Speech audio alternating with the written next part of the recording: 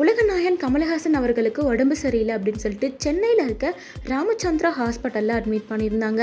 அது மட்டும் இல்லாமல் அவருக்கு உடல் சோர்வு சளி காய்ச்சல் இருமல் அப்படின்னு சொல்லிட்டு எல்லாமே இருந்திருக்கு. இந்த நிலையில தான் அவர் ஹாஸ்பிட்டலில் அட்மிட் பண்ணப்பட்டிருந்தாரு.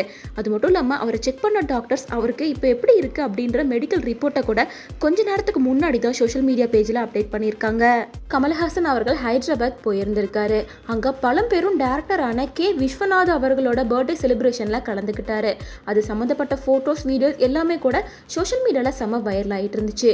இதை தொடர்ந்து சென்னை திரும்பிய கமலஹாசன் அவர்களுக்கு உடல் சோர்வு லேசான காய்ச்சல் சளி இருமல் அப்படின்னு சொல்லி எல்லாமே இருந்திருக்கு. அதனால சென்னையில் இருக்க ராமச்சந்திரா ஹாஸ்பிட்டலில் அவர் அட்மிட் ஆயிருக்காரு. இதை தொடர்ந்து கமல் சார் ஏற்கனவே இந்தியன் டூ படத்துல செம்ம பிஸியா நடிச்சிட்டு இருக்காரு. இன்னொரு பக்கம் டேரக்டர் மணிரத்னம் டைரக்ஷன்ல கமல்ஹாசன் டூ தேர்ட்டி ஃபோர் படத்துலயும் நடிக்க இருக்காரு. இன்னொரு பக்கம் பிக் பாஸ் சீசன் சிக்ஸையும் ஹோஸ்ட் பண்ணிட்டு இருக்காரு. இவ்வளோ பிஸியான ஷெடியூல்ல அவருக்கு உடம்பு சரியில்லாம போனது எல்லாருக்கும் கொஞ்சம் கவலையாக தான் இருக்கு.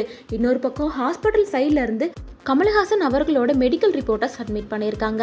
அந்த மெடிக்கல் ரிப்போர்ட்டில் என்ன இருக்குது அப்படின்னு பார்த்தோம்னா கமல்ஹாசன் அவர்களோட உடல்நிலை முன்ன விட இப்போ நல்லா தான் இருக்குது நிறைய முன்னேற்றம் தெரியுது. ஒன்று ரெண்டு நாளில் கண்டிப்பாக நாங்கள் அவரை டிஸ்சார்ஜ் பண்ணிடுவோம் அப்படின்னு போட்டிருந்திருக்காங்க. அது மட்டும் இல்லாமல் கமல்ஹாசன் சாருக்கு உடம்பு சரியில்லை அப்படின்னு தெரிஞ்சதையும் ஃபேன்ஸ் பலரும் அவங்களோட வருத்தத்தை தெரிவிச்சிட்டு இருக்காங்க. அது மட்டும் இல்லாமல் நீங்கள் சீக்கிரமாக குணமாகி வரணும். உங்களுக்காக நாங்கள் ப்ரே பண்ணிக்கிறோம் அப்படின்னு சொல்லிட்டு ஃபேன்ஸ் பலரும் தொடர்ந்து அவங்களோட கமெண்ட்ஸை பதிவிட்டு இருக்காங்க.